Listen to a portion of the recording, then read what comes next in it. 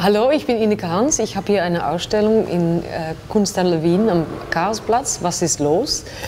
Und ich schlage gerne ein paar äh, Ideen für, um in Design anzusehen hier in Wien und äh, interessante Orte, um äh, hinzugehen. Die Werkbundsiedlung ist interessant für mich, weil das ist ein, ist damals an, aufgestartet als ein Projekt mit internationalen äh, Architekten aus Europa, äh, österreichische, deutsche, Holländer, Rietveld hat auch da gebaut. Äh, und es war eine neue Idee über modernes Wohnen. Und was vielleicht auch in dieser Zeit interessant ist, dass es eine Misch von Architekten überall aus der Welt, Europa damals, aber vielleicht ist es ein aktuelles Thema auch, um zu umarmen hier jetzt in unserer Zeit. Ich bin ein ganz großer Rietveld-Liebhaber und der ist ein super äh, äh, Typ aus Holland, der auch gebaut und Design gemacht hat. Und da fühle ich mich ganz mit verknüpft auch. Die Sezession ist ein wichtiges Gebäude in die Kultur von Wien. Äh, da, damals gab es äh, ja, Designer, Künstler, Maler. Anfang des 20. Jahrhunderts gab es wahnsinnige Typen, die hier in Wien äh, äh, herumspaziert haben und rund gedacht haben. Äh, auch Typen wie Freud, äh, das ist natürlich kein Künstler, aber diese Zeit war so wichtig. Das verknüpfe ich mit Sezession.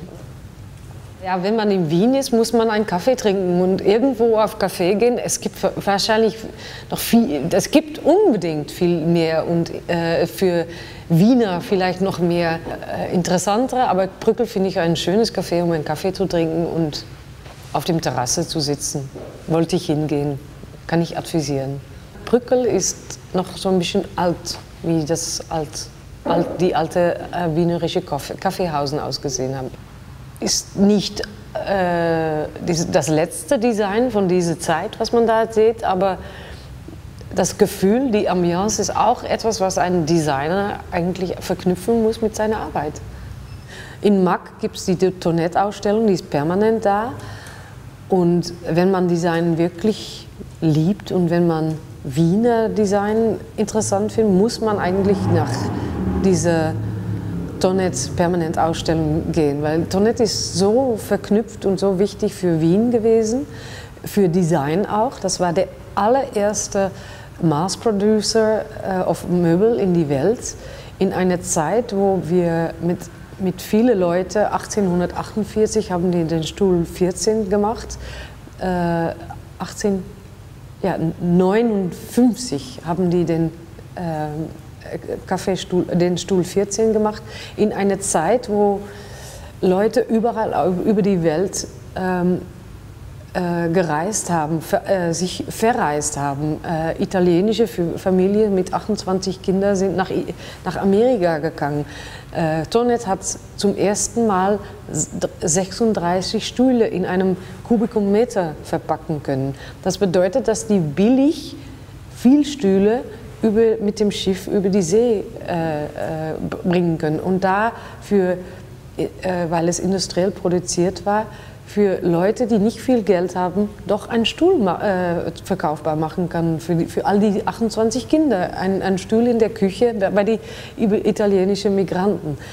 Ähm, das ist ganz interessant. Aber Tonetti ist auch aus ähm, technisch und wie man äh, Möbel macht, sehr interessant, weil die haben mit diesem gebogenen Holz natürlich angefangen, eine billige Methode zu machen als äh, diesem ausgeschnittenen Kurven und so auf Möbel, die man damals hat. Jetzt ist das gebogenes Holz etwas, was viel ähm, teurer ist als damals, weil es ziemlich viel äh, Handarbeit da eingegeben hat. Damals war es weniger Handarbeit, aber jetzt ist es noch ziemlich viel. Aber was interessant ist auch, dass jetzt im bei Tonet kann man sagen, damals 1859 äh, Quadratkubikometer mit, mit Stühle. 100 Jahre später gibt es Ikea 1959, äh, die fangen an, flach zu verpacken, äh, zu, zu verpacken. Jetzt sind wir in einer Zeit, wo wir online Sachen kaufen und brauchen wir äh, dreiteilige Sofas durch und einen Briefkasten zu Hause besorgt. Das bedeutet einen anderen Schritt für Designer mit Flachverpackung. Und so ist Tonet immer, immer wichtig gewesen für Design und Vorbild gewesen für, wie man mit, mit Möbel umgehen kann und Inspiration. Und man soll das alles ansehen, weil das sind tolle Modelle dazu. Lobmeier, äh, das kennt man, es ist ein Laden da, aber was nicht viele, die, man kann da hochgehen. Und wenn man am obersten Stock äh, ist, äh, habe ich einem Jahr her ausgefunden, super schön, gibt es da die alten Sachen von Lobmeier, äh, die das ein bisschen ausgestellt haben. Es ist ein bisschen, äh, es ist nicht, es ist alte Ausstellung mit, mit, und alte äh, äh, Glasschranken, wo die Sachen hingestellt sind. Die sind nicht immer abgeputzt, aber es sieht super schön aus. Ich mag das gerne, weil da sieht man die Prototypen, die losgemacht hat oder Wagner mit, mit Glas oder äh, ein paar Stücke, die Einzelstücke jetzt sind. Aber das ist die Historie von Lobmeier da.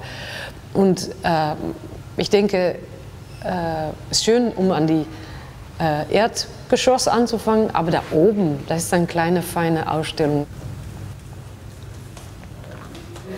Naja, rien. Ich, ich, denke, es ist auch schön, um, um, um, um äh, zu sehen, was das moderne äh, Wien bietet. Und äh, eigentlich ist es natürlich ein Pop-up in einem alt, äh, äh, altes Kaffeehaus, der geschlossen ist. Das gibt jetzt einen riesigen Walfisch. So, das, ist, das ist so ein Pop-up-Café mit jungen Leuten. Es kann auch interessant sein, um so etwas anzusehen, äh, neben all diese alten Sachen, die wir schon beredet haben.